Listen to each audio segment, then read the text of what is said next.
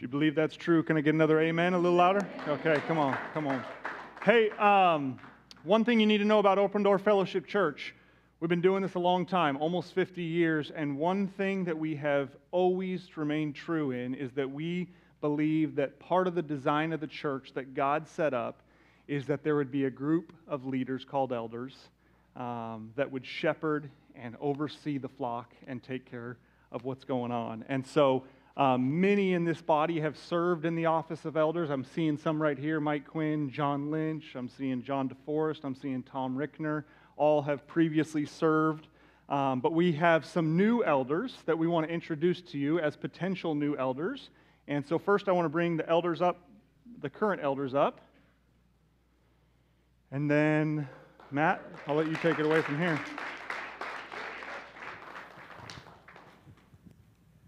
And uh, I'm Devery Faddis, Matt Poppin, Jim Rosania. Dennis Martin can't be here this morning. He's feeling a little under the weather, so or else he would be here. Matt and I can't stand too close together because we're matching 100%. We are matching. So it's really odd. Trying to like do this. He's here. got the wrong shoes on though. Yeah, yeah. All right, so we would like to introduce and have come up Doug and Sue Sawyer.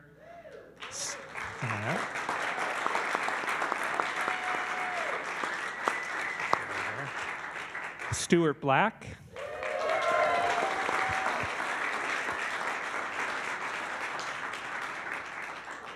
Paul and Kelly Lawrenson.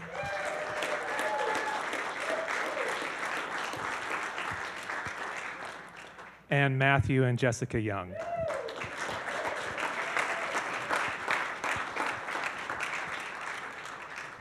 So I just want to take a, a, moment really quick to let you know how these men came to be here, how, to, how they came to be considered as potential elders. Um, back in the beginning of the, this year, um, we kind of described the new process um, that we've gone through. We, we put together what was known as an elder identification team a really sweet group of 10 of us, uh, cross section throughout the body of former pastors and elders and just really trusted voices, both men and women. And we asked you as the body, go talk to these people and tell them who you would see as being a good shepherd elder for our body. We came together, we had about 30 names, and these four names just kept rising to the top, rising to the top.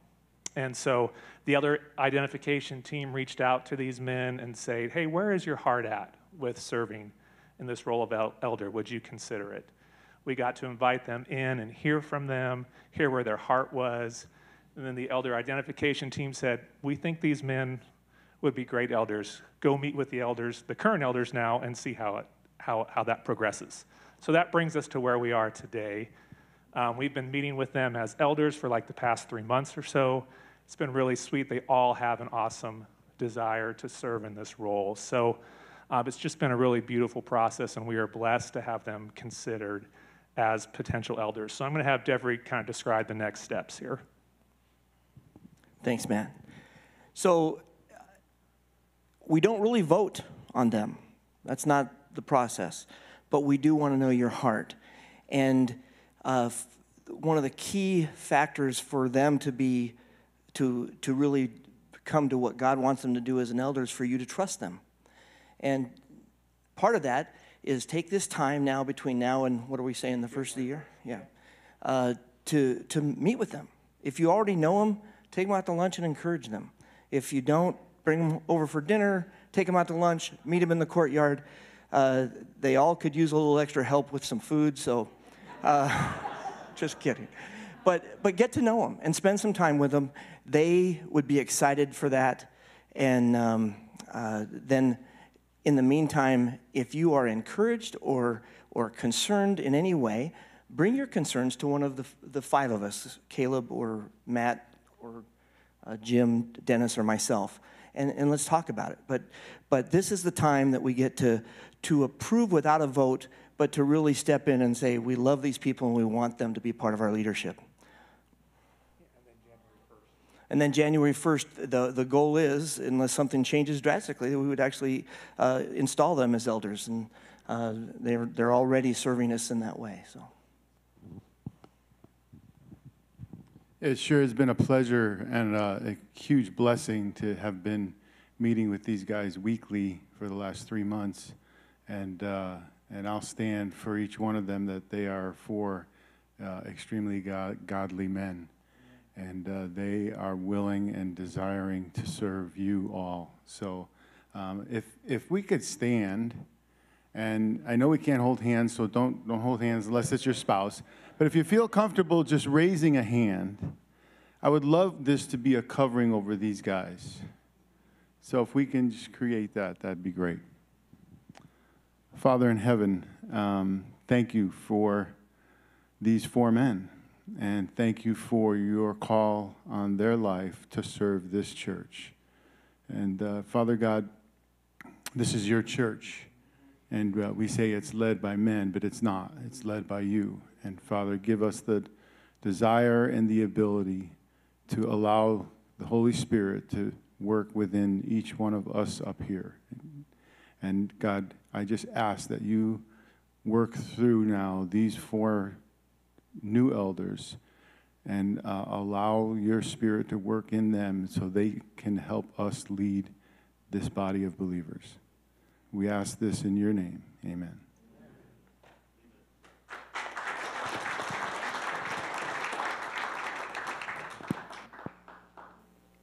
Not to worry, Doug Sawyer is not about to rob a stagecoach. He just looks that way.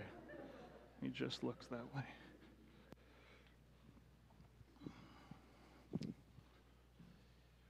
I've been joking with them all that at some point during the elder process, they have to go on like a wilderness challenge where we drop them off in the middle of nowhere. It still has yet to happen, but we pray that the Lord provides for that.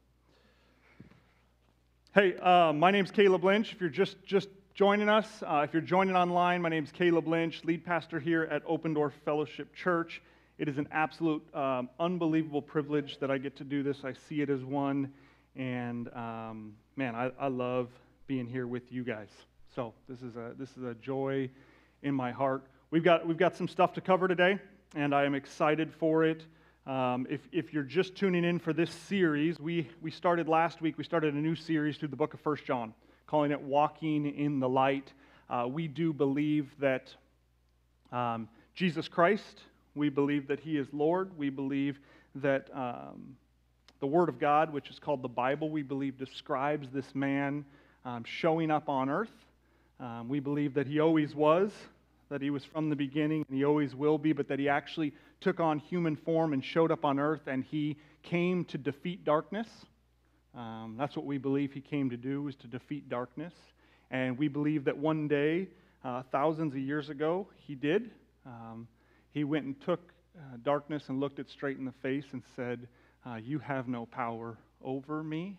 And he defeated it. And then one morning he came out of a tomb and um, shined the light for anyone who would choose to put their trust in him as Lord and Savior. And so we believe that, and we believe that under that umbrella of truth, that we are now citizens of the light. And so that's the premise for this book. Um, that is the premise that Paul, or sorry, that John, the author, lays out for us. And um, let me pray for it. Lord, uh, we keep coming to you in prayer this morning, and that is a good thing.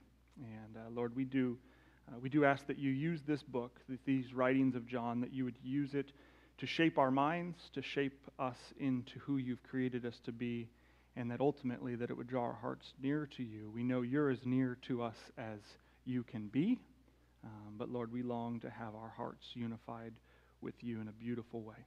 And so, Lord, we know the world needs your light.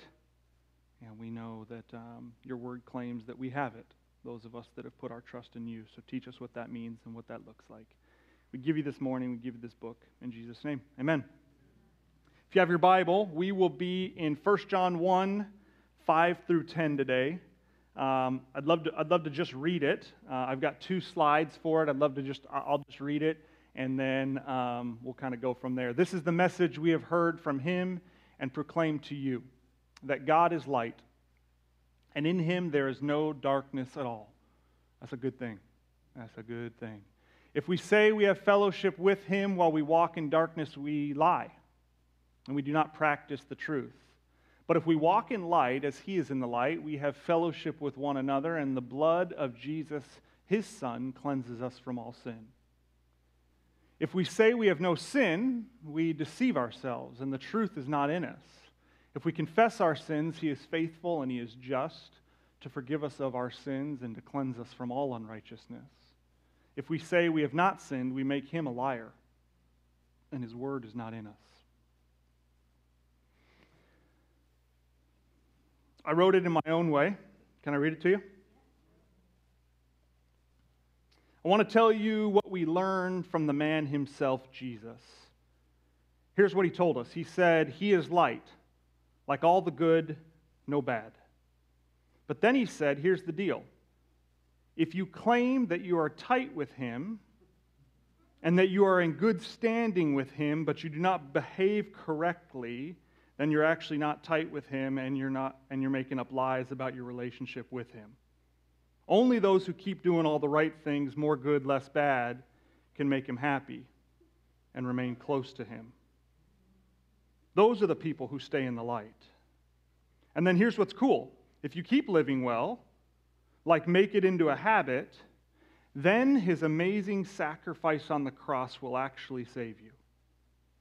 But if you keep living super bad, even his cleansing is not powerful enough to make you right. That's only for the good people. Okay, but here's what's cool. Don't worry if you keep sinning. Just keep asking him to forgive each sin. Don't forget about any sins, otherwise, they won't get forgiven. It's up to you to get those records of sin in good standing. So that's it. It's that easy. Keep living wholesome and keep asking for forgiveness every time you do something wrong, and you will stay in the light. If that translation sounds like something you're used to, I'm sorry. I do not believe those are the words that John is trying to describe to us. Let, let, me, let me try again. Everyone's like, where are those elders? Get those elders back in here. Should we try it again? I want to tell you what we've learned from the man himself, Jesus. Here's what he told us He said, He's light, like all the good, no bad. But then he said, Here's the deal. If you claim that you're a Christian, but you don't act like, like Christ, then you might want to ask yourself if you're really, truly a Christian at all. Only bad people claim one thing and do something else. Here's the benefit that true Christians get the ones that act like Christians. They get the gift of cleansing, purity, white as snow. What a great gift his cleansing is. But it doesn't come without a bit of continual work.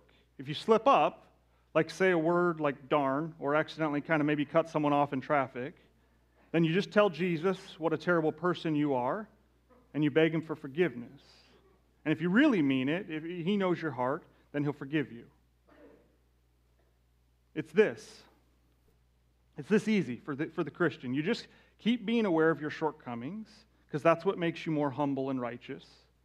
Because the truth is, God likes it when you live in a defeated state, because that's when He can really help you.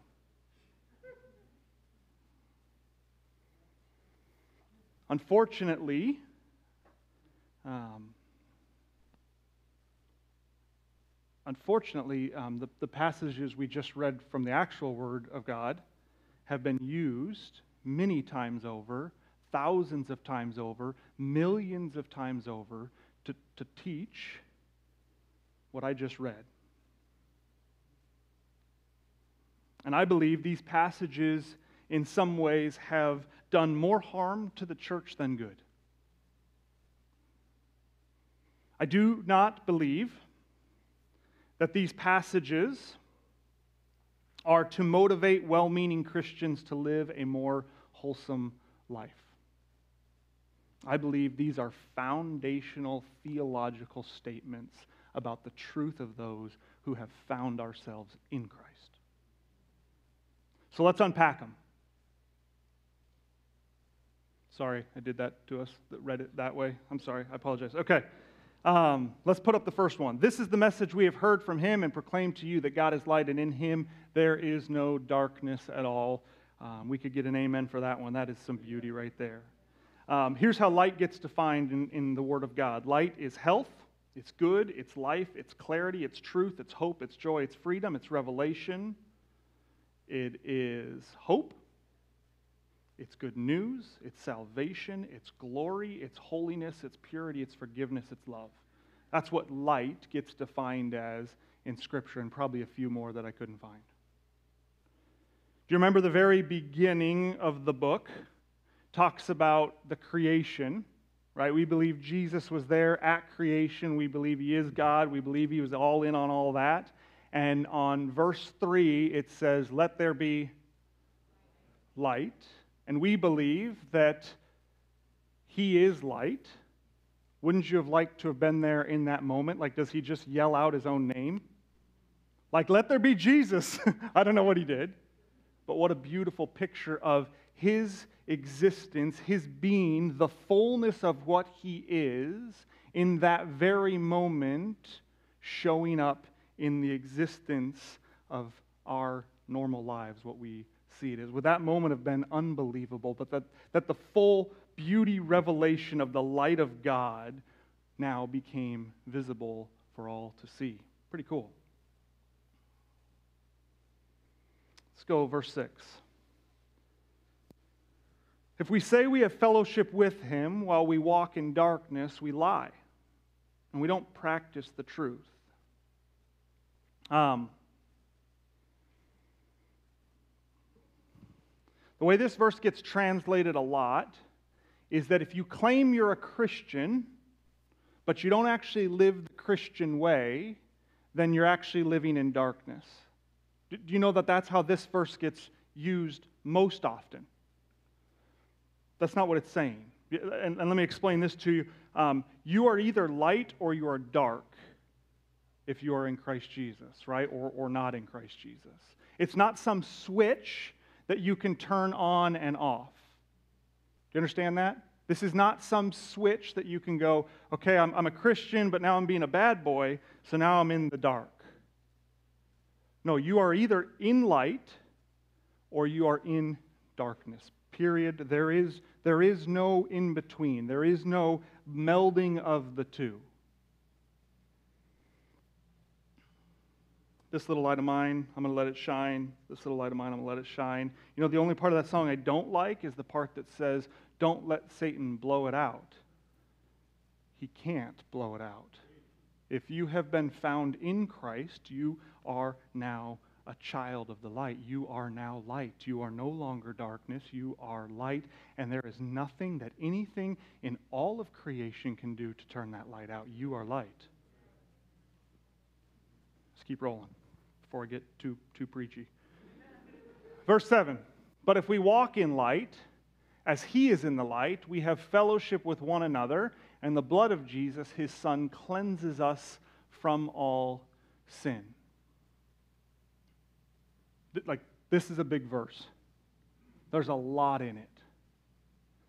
You could read it, but if you behave correctly, as he does, then you can have fellowship with him, and then his blood will cleanse you. We understand that that's probably not what it's saying. Do we really think that our fellowship with Christ is dependent on our behavior? I, I pray we do not. I pray that we read enough scripture to realize that our fellowship with Christ Jesus is by the work that, that he did and our trusting in it. Do you really believe?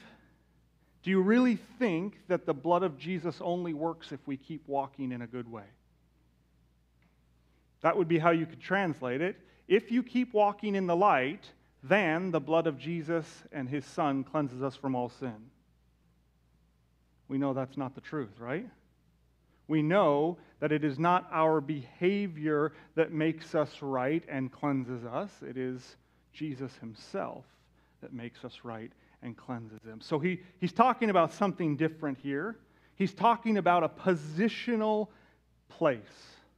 He's talking about the fact that you are in light, right? It'd be like it'd just be like describing uh, the way that you are walking. You're not talking about the actual walking. You're talking about the position in, in which you're walking, right? You're walking in the light. You're continuing to move forward in the light. Does that make sense? We're not talking about the way in which you walk, we're talking about the position in which you walk. The statement that helps us the most here is where it says, circle this in your Bible, as he is in the light. But if we walk in the light as he is in the light, circle that. How, how was he in the light? What did he do? He was the light. It's who he was. Was it his behavior that made him in the light? No, it was who he was. He was the light. Remember the opening lines? God is light. Remember what Jesus said when he was with his disciples? He says, I am the light of the world. It's an astounding statement when we realize what he is telling us to do. He's saying, Be who you are, right? Look, as he is in the light, how is he in the light? It's who he was. The same way is how we are to walk, who we are. We are in the light. We are children of light. let, me, let me give us some verses because this will help us. This is Ephesians 5 8. For at one time you were darkness, but now you are light in the Lord. If there's no other verse that helps us understand this, this one is huge because look at what the, look at the words. He's not saying at one time you were acting in darkness, one time you were behaving in dark ways. No, he's not saying that. And then now you're acting like, like a good boy should. No, he's saying one time you were actually dark. Like you literally were darkness, and now you are literally light. Is that astounding to you that the work of the cross is that powerful? That he moved you from a dominion, a place of darkness, into a place of light? Let's do another verse. 1 Peter 2 9 says this But you are a chosen race, a royal priesthood, a holy nation, a people for his own possession that you may proclaim the excellence of him who has called you out of darkness and into light. Let's, let's do another one. John 8 12. Again, Jesus spoke to this, them, saying, I am the light of the world. Whoever believes in me will not walk in darkness. Like literally, it's impossible for them to walk in darkness, but they will have the light of life. Should we do more? Let's do one more. John 12, 36. While you have the light, believe in it, so that you may become sons of light. How do you, how do you get the light? Believe in it. Let's keep rolling. Verse 8. If you say that we have no sin, we deceive ourselves and the truth is not in us. This is a pretty astounding statement when you think about it if the claim that you put out is a claim that I have not sinned, you actually have no Christ within you. Isn't that an interesting statement? He's saying if, if you're actually going to believe wholeheartedly that you are without any sin, that you've, you've behaved well enough to get yourself to heaven, it's, it's pretty good proof that he's not in you. Because in order for him to be in you, What's the next verse say? Let's go there. You have to confess your sins. You have to say, I have sin, right? I, I, I, I on by myself am not good enough to get myself in right standing with God or to my eternal resting place, which is called heaven. He's saying, so if we confess our sins, He is faithful and just to forgive us of our sins, and then that's where the cleansing comes from. Will you go back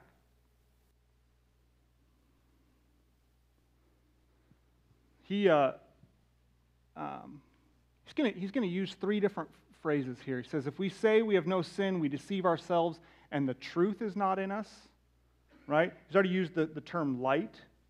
He's going to use truth, and then he's going to use the word. Remember, he, um, Jesus claims that he is the truth and that he is the, he is the word. And so when you see these phrases like that, and the truth is not in us, is referencing Jesus. He is not in you. It's an important thing. Go to verse 9 again if we confess our sins. Yeah. Let's be clear about something. because Jesus died on the cross for the sins of men and women, all are not automatically forgiven. Does that make sense?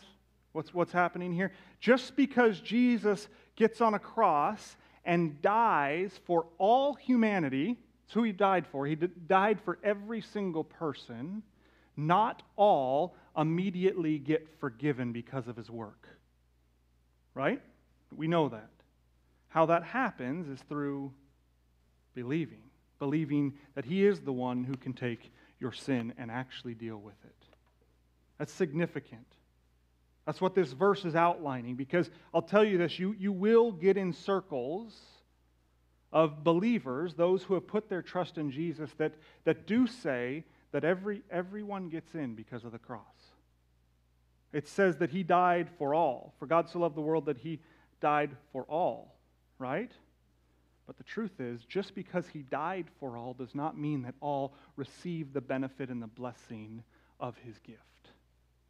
The way you receive it is by trusting and believing in him as Lord, as Savior, as Almighty One. Period. That's the way you get forgiven. Does that make sense? Really significant theological concept. What if we forget to confess a sin?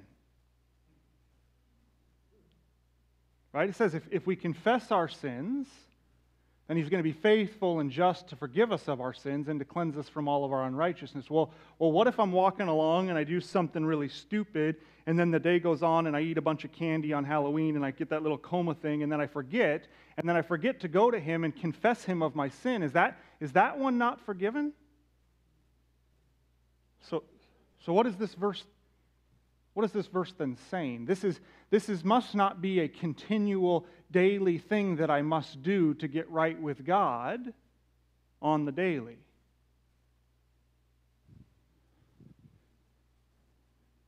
If my being forgiven is on the basis of how often I remember to confess my sins, there's a high likelihood my forgiveness is going to fall a little bit short.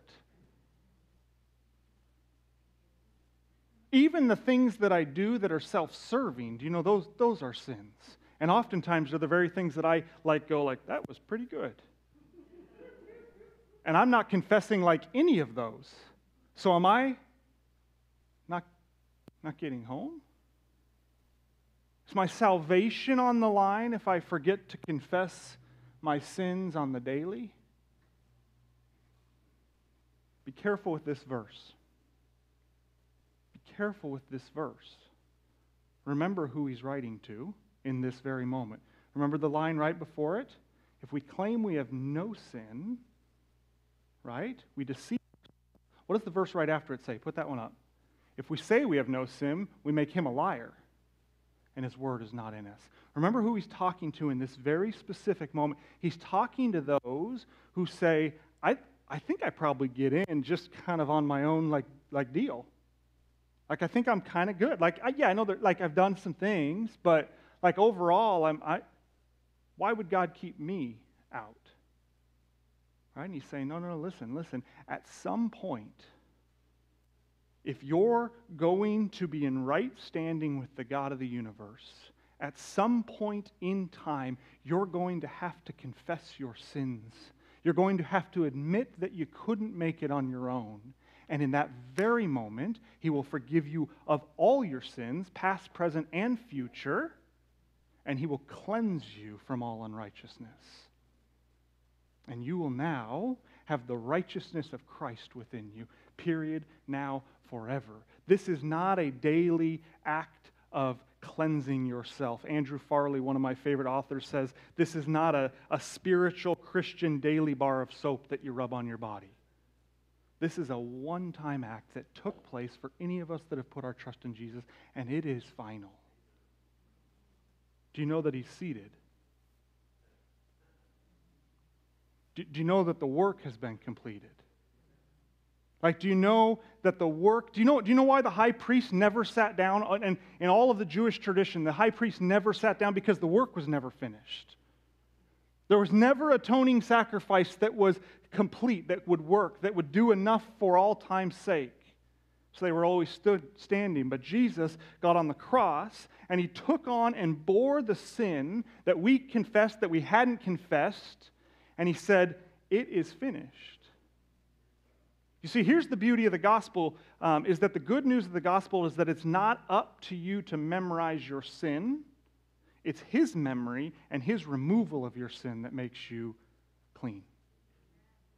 Is that unbelievable? So it's not only your good behavior that doesn't get you home, but it's not it's also not your ability to remember your bad behavior that helps you get home. It's all just kind of him.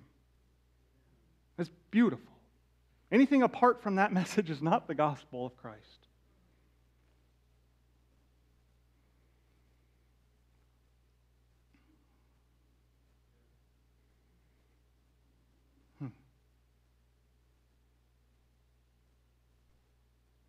Let's, let's, let's go to 10. If we say we have uh, not sinned, we make him a liar, and his word is not in us. There's that word. He is the word. It's not in us. Many reject the system in place because it means they must lay down it feels like they must lay down their self worth or their pride or their accomplishments, and they go, No, no, no, no, no, I, I, I think I'm good on my own. And so they reject the very system that God has put in place about how you are made right, about how you are made good, about how you are made whole, about how you are redeemed, about how you are made righteous and holy and pure. They reject it. So, because of that, the Word is not in them. And, and essentially, in doing so, we actually make him a liar. He's not a liar. He can't be a liar. But in doing so, we say the words, the truth that have been outlined in the word are not true, and therefore he's a liar. Those are some strong words.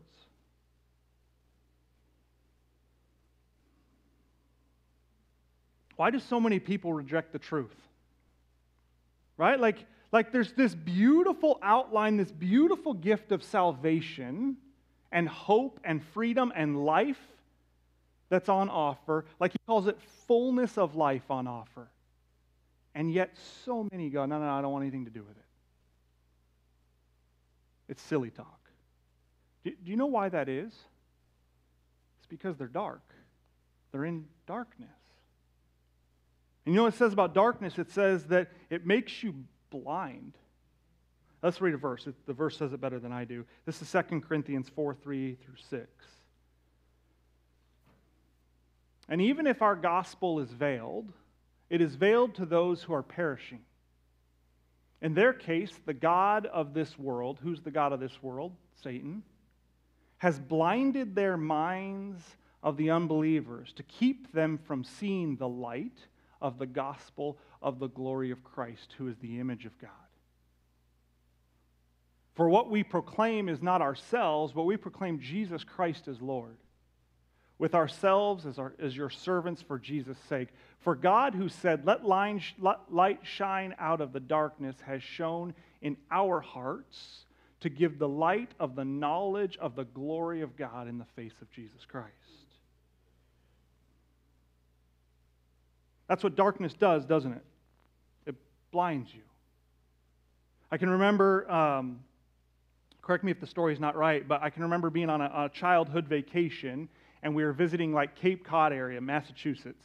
And we were going to a town maybe called Falmouth, okay? And so we arrived late at night and it was dark and we were driving into the town and my sister Amy is terrified. She's like, I want to go home. I'm scared. When you looked out the window, all the leaves were shaking and it looked really sinister. Like the town looked really sketchy and weird. We got in super late, so there was no one out. It was like a ghost town.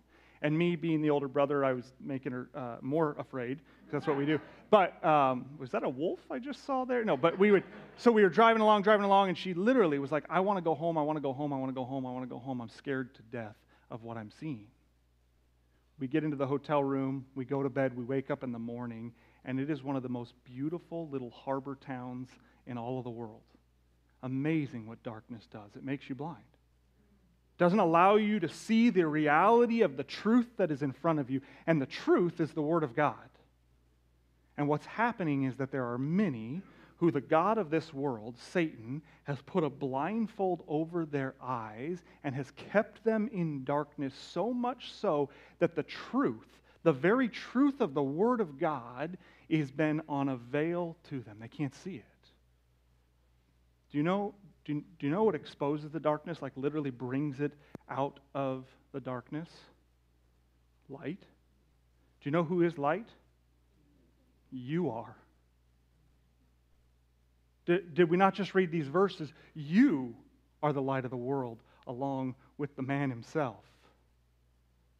What is John doing? He is doing a beautiful bit of work of not asking you to change your behavior, but inviting you into something that is already true for you for the benefit of humanity that is dwelling in darkness.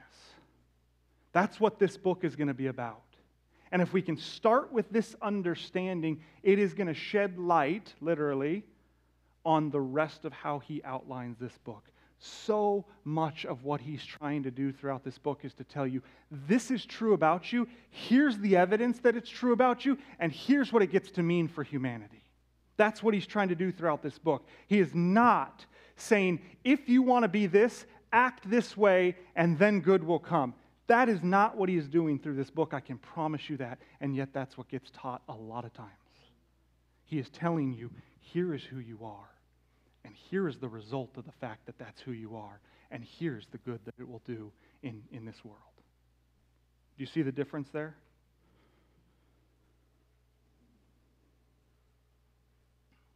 So let's rewrite it. When we were with Jesus, he told us, He said He was the light. And we actually saw it. We believed it. We were convinced of it. I know some of you think that you can just claim that you belong to Christ even if you don't.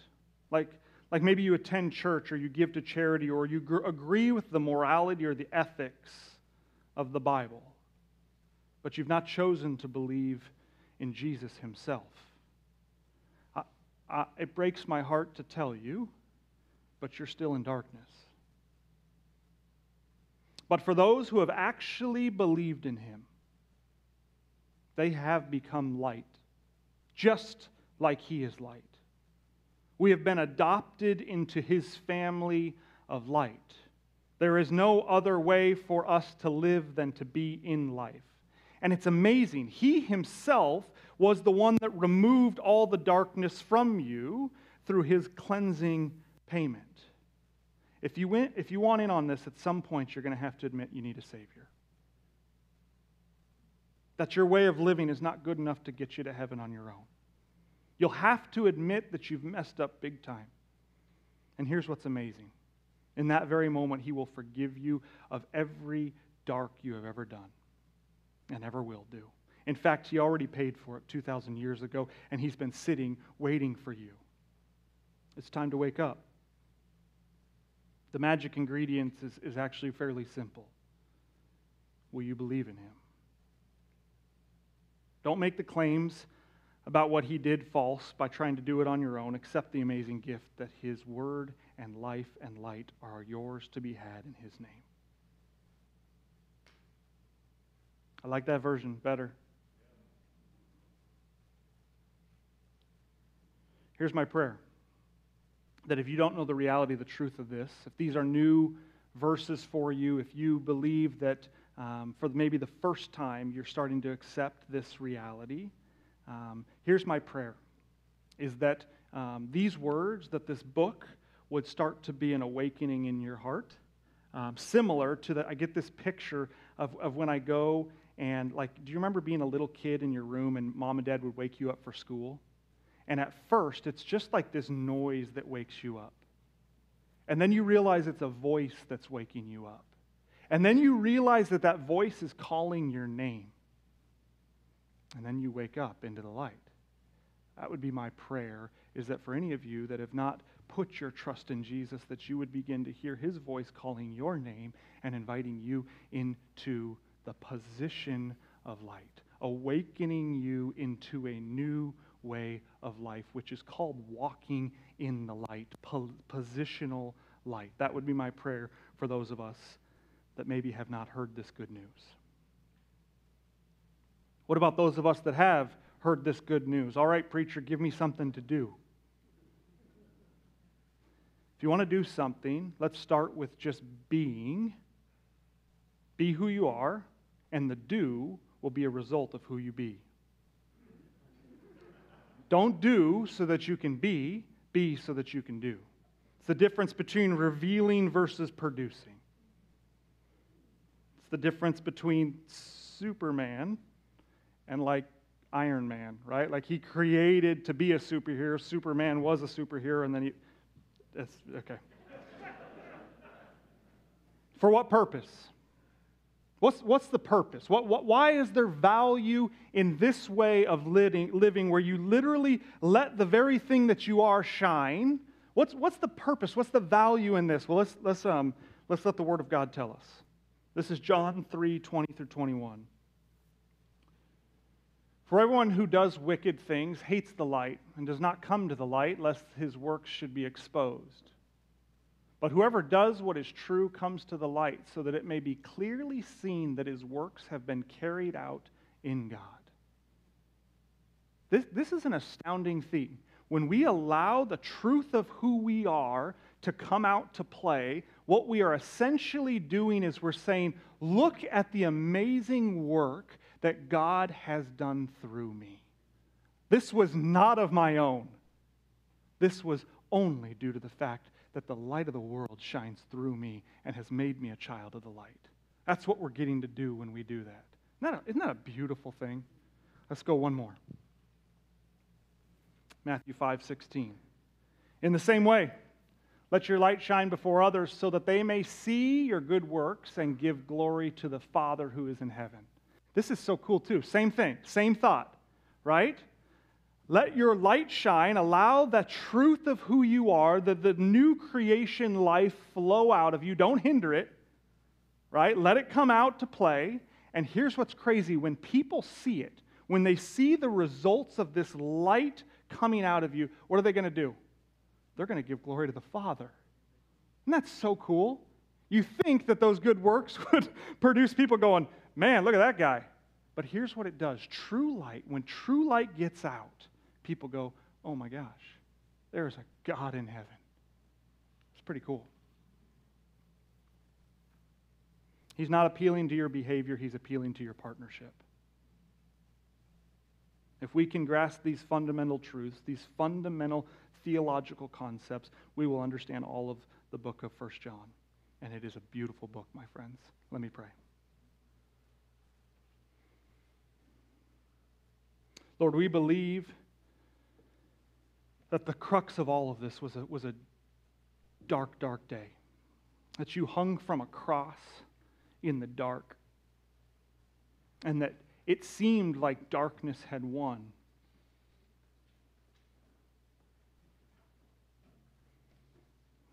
And yet it hadn't.